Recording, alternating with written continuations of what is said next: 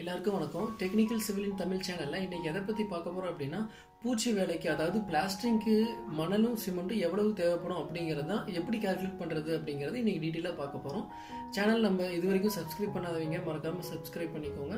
Video கடைசி வரைக்கும் பாருங்கள் அப்போ தான் உங்களுக்கு ஈஸியாக புரிஞ்சிக்க முடியும். இல்லை சிமெண்ட்டையும் சாண்டையும் தண்ணியோட முன்னிலே கலந்தா அந்த கலவைக்கு பேர் தான் பூச்சி வேலை அப்படின்னு நம்ம சொல்லுவோம். அந்த பூச்சி வேலை பில்டிங்ல எங்க நடக்கும்னு பார்த்தீங்கன்னா ஒன்று சீலிங்ல அதிகமாக நடக்கும். தென் பிரிக் ஒர்க் சுவர் எங்கெல்லாம் இருக்குதோ அங்கெல்லாம் பூச்சி வேலை கண்டிப்பா பண்ணுவாங்க. ஏன்னா அப்படி பண்ணாதான் சுவருக்கு எந்த விதமான பாதிப்பும் இல்லாம இருக்கும். இப்போ இதுக்கு ரேஷியோ போடுவாங்க. சிமெண்ட்டும் இருக்கு சாண்டும் இருக்கு. எந்த விகிதத்துல கலந்துக்கணும் அப்படின்னு பார்த்தோம்னா அது இடத்துக்கு தகுந்த மாதிரி மாறுபடும். இப்போ சீலிங்கா இருந்தா அது ஒரு ரேஷியோல போடுவாங்க. பிரிக் ஒர்க் சுவரோட வெளிப்பகுதியில ஒரு ரேஷியோக்கு போடுவாங்க. சுவரோட உள்பகுதியில் ஒரு ரேஷியோ போடுவாங்க அதை நம்ம இப்போ டீட்டெயிலாக பார்க்கலாம். இப்போ சீலிங்கில் one is to two one is to three ஒரு சில சமயம் ஒன் ஈஸ்ட் ஃபோர் வரைக்குமே போடுவாங்க. இதில் ஒன் அப்படிங்கிறது என்னென்னா சிமெண்ட்டோட குவான்டிட்டி டூ அப்படிங்கிறது மணலோட குவான்டிட்டி ஸோ இந்த ரேஷியோவில் தான் சீலிங் பூசுவாங்க. ஒரு சில சமயம் ஒன் ஈஸ்ட் ஃபோர் வரைக்கும் கூட பூசுவாங்க. பிரிக் ஒர்க் எக்ஸ்டர்னல் அதாவது வெளிப்புற சுவருக்கு பார்த்தீங்க அப்படின்னா ஒன் ஈஸ்ட் சிக்ஸ் அந்த விகிதத்தில் போடுவாங்க. ஒன் அப்படின்னா சிமெண்ட்டு சிக்ஸ் அப்படிங்கிறது மணல் அதாவது சாண்டு உள்பக்க சுவர் எல்லாத்துக்குமே one is to four one is to five கொடுப்பாங்க. மேஜராக ஒன் ஈஸ்ட் ஃபைவ் தான் சூஸ் பண்ணுவாங்க.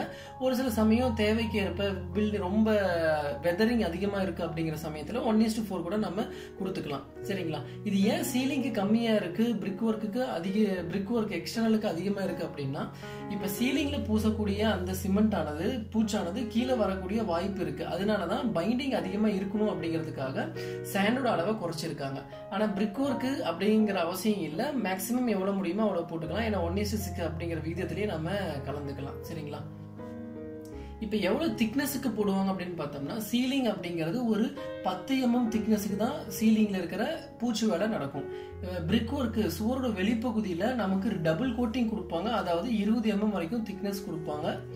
பிரிக்கோட உள்பகுதி உள் பக்க சுவருக்குள்ள ஒரு டுவெல் எம்எம் mm கூட நம்ம கொடுத்துக்கலாம் திக்னஸ் ஸோ திக்னஸ் பார்த்தீங்க அப்படின்னா வெளிப்பகுதியில் அதிகமாக இருக்கணும். ஏன் அப்படின்னா இது வெளிப்பகுதி சுவர் தான் ஓப்பன் டு அட்மாஸ்பியர் அதாவது மழைக்கும் வெயிலுக்கும் அஃபெக்ட் ஆகக்கூடிய பகுதி.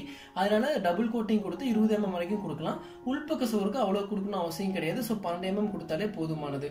சீலிங்க்கு பத்து எம்எம் கொடுத்தாலே போதுமானது. ஏன்னா நம்ம அதிகமாக கோட்டிங் கொடுக்க கொடுக்க அது கீழே வரதுக்கு வாய்ப்பு இருக்கும். ஸோ மினிமம் எவ்வளவோ அதை நம்ம கொடுத்தாலே போதுமானது இது.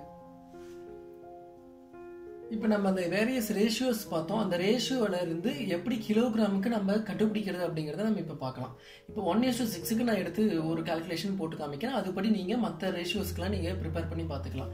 ஒன் இயர்ஸ் டூ சிக்ஸ் அப்படிங்கிறதுல ஒரு பங்கு சிமெண்ட்டும் ஆறு பங்கு மணலும் கலந்துருக்கும் அப்போ இதில் மொத்த பங்கு எவ்வளோன்னு பார்த்தீங்கன்னா ஒன்று கூட்டல் ஆறு ஏழு பங்கு. அதாவது ஒரு மீட்டர் கியூபுக்கு நீங்கள் பிளாஸ்டிக் போடணும்னு ஆசைப்பட்டீங்கன்னா அதில் மொத்தம் ஏழு பங்கு இருக்கும். அந்த ஏழு பங்குல ஒரு பங்கு சிமெண்ட்டு ஆறு பங்கு மணலும் இருக்கும். சரிங்களா? இப்போ நான் ஒரு மீட்டர் கியூப் எப்படிங்கிறத நான் டீட்டெயிலாக இப்போ கால்குலேஷன் போட்டு காமிக்கிறேன் பாருங்கள் இப்போ ஒரு வாலோட ஹைட்டு ஒரு மீட்டர் பிரெத்து ஒரு மீட்டர் அந்த வாலுக்கு கொடுக்கக்கூடிய பிளாஸ்டிக் திக்னஸ்ஸு டுவென் டுவெல் எம்எம்னு சொல்லி எடுத்துக்கலாம். ஒரு தோராயமாக நான் இப்போ எடுத்து போடுறேன். இப்போ பன்னெண்டு எம்எம் இருக்கிற பிளாஸ்டிக்கு எவ்வளோ எப்படி குவான்டிட்டி கண்டுபிடிக்கிறது அப்படிங்கிறத நம்ம பார்க்கலாம். ஸோ மொத்த கொள்ளளவு எவ்வளோன்னு கண்டுபிடிச்சிக்கிறோம். ஒரு மீட்டர் அகலம் ஒரு மீட்டர் உயரம் திக்னஸ் பார்த்தீங்கன்னா டுவெல் எம்எம் அப்போ zero point zero one two metre சரிங்களா? இப்போ மொத்த கொள்ளளவு எவ்வளோன்னு கண்டுபிடிச்சோம்னா மூணையும் பெருக்குனீங்கன்னா அவ்வளோதான் அப்போ அதாவது zero point zero one two metre cube so இந்த அளவுக்கு தான் நம்ம இப்போ பிளாஸ்டிக் போட போகிறோம் இதுக்கு எவ்வளோ சாண்டு சிமெண்ட்டு தேவை அப்படிங்கிறத நம்ம கண்டுபிடிக்க போகிறோம் சரிங்களா? இப்போ ஃபஸ்ட்டு சிமெண்ட் எப்படிங்கிறத நம்ம பார்த்துக்கலாம். சிமெண்ட் குவான்டிட்டி அதாவது மொத்த பங்கு ஏழு பங்குல ஒரு பங்கு தான் சிமெண்ட் கொடுக்குறோம். அதுக்கு எவ்வளோ வால்யூம் தேவைப்படுது? Zero point zero one two வால்யூம்க்கு apply பண்ண போகிறோம் தென் இதை என்ன பண்ணுவோம்? நம்ம ட்ரை வால்யூமால பெருப்போம். எப்பயுமே ஒரு பொருள் வெட்டாக இருந்தாலும் சரி ட்ரையாக இருந்தாலும் சரி ரெண்டுக்கும் வெயிட் அப்படிங்கிறது வேரி ஆகும். இப்போ நம்ம மார்க்கெட்டில் ட்ரையாக தான் கிடைக்கும். இப்போ நம்ம ஃபீல்டில் வெட்டாக தான் அப்ளை பண்ண போகிறோம் ஸோ அதனால் ட்ரை வால்யூம் அப்படிங்கிற ஒரு கான்செப்டை நம்ம இன்ட்ரடியூஸ் பண்ணி அந்த ஃபேக்டரால் மல்டிபிள் பண்ணால் தான் எக்ஸாக்ட் வெயிட் எவ்வளோங்கிறத நமக்கு தெரிஞ்சிக்க முடியும். அதாவது தண்ணி கலந்தோம் அப்படின்னா அந்த பொருளோட வால்யூம் அப்படிங்கிறது கொஞ்சம் சுருங்கும். ஸோ அதுக்காக தான் இந்த நம்ம ட்ரை ஃபேக்டர் இன்ட்ரடியூஸ் பண்ணுறோம் நம்ம நார்மலாக கான்கிரீட்டுக்கு ஒன் பாயிண்ட் ஃபைவ் டூ அப்படிங்கிறது போடுவோம். பட் இந்த இடத்துல சிமெண்ட் சாண்டு மட்டும் இருக்கிறதுனால அக்ரிகேட் இல்லை. சிமெண்ட் சாண்டு மட்டும் இருக்கிறதுனால நம்ம ஒன் பாயிண்ட் த்ரீ ஃபைவ் கூட நம்ம போட்டுக்கலாம். சரிங்களா? இப்போ ஏழில் ஒரு பங்கு சிமெண்ட்டு இவ்வளோ வால்யூம்க்கு போடுறோம். அதை நம்ம ட்ரை வால்யூம் ட்ரை வால்யூம் ஃபேக்டரால் மல்டிபிள் பண்ணிட்டோம். இப்போ சிமெண்ட்டோட டென்சிட்டியால் மல்டிபிள் பண்ண நமக்கு எவ்வளோ கிலோகிராம் சிமெண்ட் வேணும் அப்படிங்கிறது கிடச்சிடும் இப்போ இதை நீங்கள் மல்டிபிள் பண்ணிங்கன்னா நமக்கு வரக்கூடிய ஆன்சர் பார்த்தீங்கன்னா three point three three two kilogram அப்போ இவ்வளோ கிலோகிராம் சிமெண்ட்டு நமக்கு தேவைப்படும். சாண்ட் எப்படி கண்டுபிடிக்கலாம் அப்படிங்கிறத நம்ம டீட்டெயிலாக பார்க்கலாம். இப்போ சாண்டோட வால்யூம் எப்பயுமே சிஎஃப்டியில் தான் மார்க்கெட்டில் கிடைக்கும். அதனால் இது நம்ம வேறு மாதிரி கால்குலேட் பண்ணணும். அதே சேம் மெத்தட்லேயே இனிஷியேட் பண்ணுவோம். ஏழு பங்குல ஆறு பங்களவுக்கு நம்ம சாண்டு போடுறோம். அது எவ்வளோ வால்யூமுக்கு போடுறோம்? Zero point zero one two வால்யூமுக்கு போடுறோம்.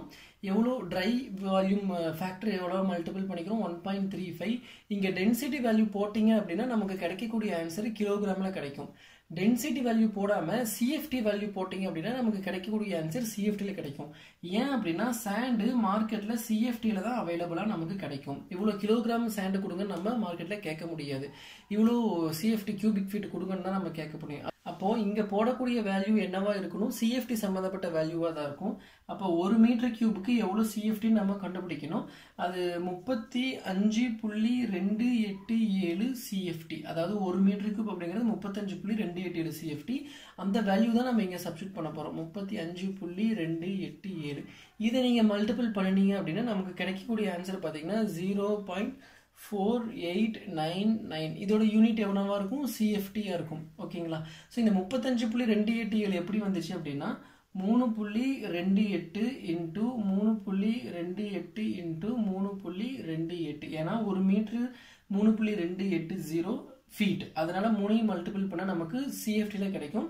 இந்த வேல்யூ தான் நம்ம இங்கே சப்ஸ்டியூட் பண்ணோம் அப்படி பண்ணோம்னா நாங்கள் கிடைக்கக்கூடிய ஆன்சர் சிஎஃப்டி ஸோ கடைசியாக ஒன் இஸ் டு சிக்ஸ் அப்படிங்கிற ரேஷியோவுக்கு சாண்ட் எவ்வளோ தேவைப்படுதுன்னு பார்த்தீங்கன்னா ஜீரோ புள்ளி நாலு எட்டு ஒன்பது ஒன்பது சிஎஃப்டி மணலும் சிமெண்ட் எவ்வளோ தேவைப்படுதுன்னு பார்த்தீங்கன்னா மூணு புள்ளி மூணு மூணு ரெண்டு கிலோகிராம் ஆஃப் சிமெண்ட்டும் தேவைப்படுது. இப்படி தான் நீங்கள் கேல்குலேட் பண்ணணும். தண்ணி அப்படிங்கும்போது நீங்கள் அது சைட்டை பொறுத்து தான் நீங்கள் எடுத்துக்கணும். ஏன் அப்படின்னா சைட் கண்டிஷனில் பூசுறப்ப என்ன மாதிரி பதம் வேணும் அப்படிங்கிறது அந்த பூசுறவங்களுக்கு தான் தேவைப்படும். ஸோ அதுக்கு தகுந்த மாதிரி நம்ம தண்ணி ஆட் பண்ணிக்கலாம். ரொம்பவும் ட்ரையாக இல்லாமல் ரொம்பவும் வெட்டாக இல்லாமல் மாடரேட்டாக அந்த பூச்சி வேலையை செய்கிறவருக்கு தகுந்த மாதிரி நம்ம தண்ணியை மிக்ஸ் பண்ணி எடுத்துக்கலாம். ஸோ இந்த மாதிரி தான் நம்ம கால்குலேஷன் போட்டு கண்டுபிடிக்க போகிறோம் இதே மாதிரி உங்களுக்கு எந்த ரேஷியோவுக்கு வேணும் எவ்வளோ திக்னஸுக்கு வேணும் அப்படிங்கிறத தெரிஞ்சுக்கிட்டோம் அப்படின்னா நம்ம ஈஸியாக எவ்வளோ குவான்டிட்டி மெட்டீரியல்ஸ் வேணும் அப்படிங்கிறத கண்டுபிடிச்சிக்கலாம். நம்ம மார்க்கெட்டில் வாங்குறதுக்கு ரொம்ப ஈஸியாக இருக்கும்.